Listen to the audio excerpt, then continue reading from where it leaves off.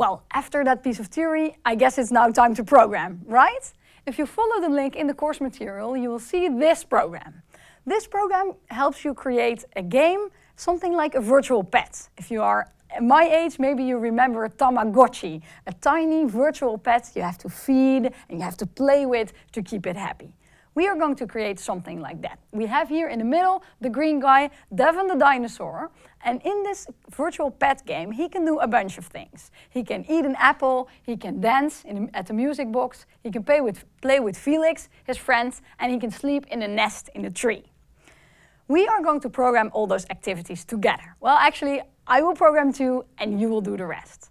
So we'll start with the friend, Felix. Last week, we worked with the block when the green flag is clicked. This one here, this is what we used last week.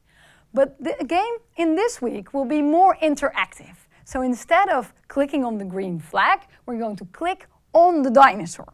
That's this button here, when this sprite is click and clicked. And see, I'm at the code of Felix now, so not at the code of Devon. When this sprite is clicked, we want Felix, the friend, to say something like, do you want to play with me? And we do that, of course, with a say block. You've seen those a bunch of times before. We take this one and we say, do you want to play with me?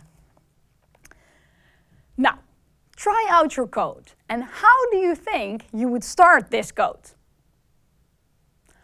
Of course, you do that not by clicking the green flag, as you might have done because you have this intuition now by practice. No, you start the code by clicking on Felix. You click on it, and then he says, hello. Let me show you again. Hello, do you want to play with me? And what would be extra nice, of course, is would be if Devon the dinosaur really runs forward towards Felix to go play. And that we will explain in the next video.